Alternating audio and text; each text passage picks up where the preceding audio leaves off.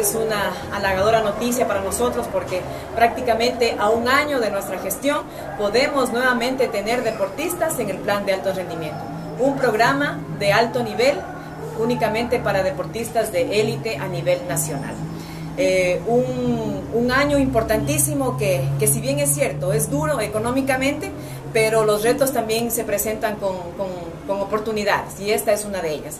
El año 2016 hemos cerrado el 2016 con eh, siete seleccionados nacionales y este año 2017 empezamos con cuatro preseleccionados de fútbol, un preseleccionado de natación y un deportista en el plan de alto rendimiento. Como que se me abierto una puerta para seguir adelante y poder avanzar en el deporte, ya que me están ayudando de una muy buena manera.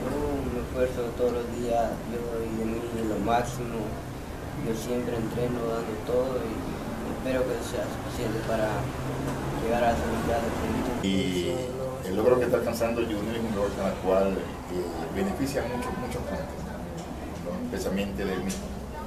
Eh, esos logros que ha alcanzado él, él le da un poco de de oportunidad para seguir proyectándose mucho más para arriba. La carta de presentación que tiene Junior para lograr esta, esta, esta medalla, este, este mérito, esta beca, digámosle así, que recibirá mensualmente por parte del Ministerio del Deporte a través de la Federación Ecuatoriana de Reparación, exclusivamente solo para gastos de personales de él.